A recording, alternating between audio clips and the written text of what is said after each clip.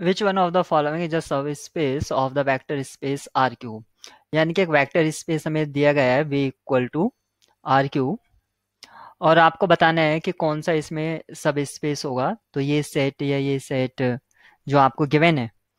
तो सब स्पेस होने के लिए वो खुद में एज ए वेक्टर स्पेस होना चाहिए और वेक्टर स्पेस के प्रॉपर्टीज़ या हम सब स्पेस टेस्ट इसमें लगा सकते हैं। सब स्पेस टेस्ट लगाने के लिए सबसे पहले नॉन एम्प्टी होना चाहिए।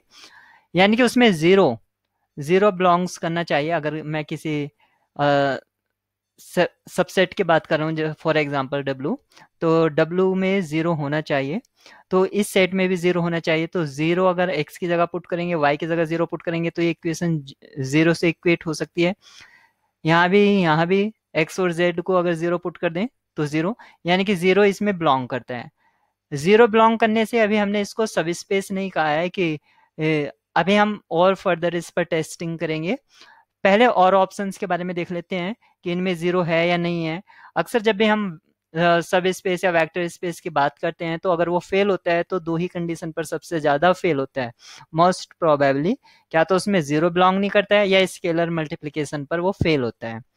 I I T JAM C S I N NET GATE जितने भी इस टाइप के एग्ज़ाम होते हैं, या इनके पैरेलल एग्ज़ाम है, उसका मेन रीजन यही है कि उसमें जहाँ भी फेल की कंडीशन आती है, वो स्केलर मल्टीप्लीकेशन या ज़ीरो पर ही वो फेल होते हैं।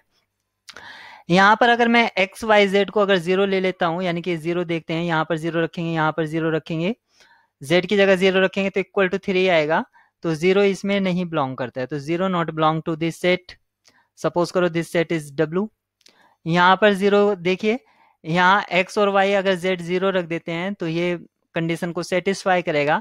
लेकिन अगर मैं minus one belongs to R यहाँ पर जो फ़ील्ड है, जिस फ़ील्ड की बात करी गई है, वो रियल फ़ील्ड ही है।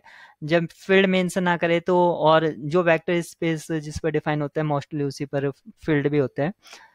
तो यहाँ पर अगर मैं minus one belongs to R और माइनस से अगर मैं इस एलिमेंट को एक्स वाई जेड को मल्टीप्लाई करा देता हूँ minus one X Y Z तो यहाँ पर आता है minus X minus Y minus Z यहाँ से हमें क्या पता चलता है? अगर इन दोनों का प्रोडक्ट देखते हैं तो minus X less than equal to zero और minus Y less than equal to zero यानी कि इसको वो सेटिस्फाई नहीं कर रहा है इस कंडीशन को।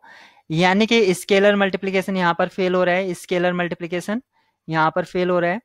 और इसमें ज़ीरो ही बिलोंग नहीं करता। अगर मैं एक्स को ज़ीरो पुट करूँ और वाई ज़ीरो है तो एक्स यहाँ पर minus one equal to zero आ रहा है, जो कि ये ट्रू नहीं है नॉट ट्रू तो यहाँ पर भी ज़ीरो नहीं है, यहाँ पर zero not belongs to W तो सिर्फ़ इसमें है।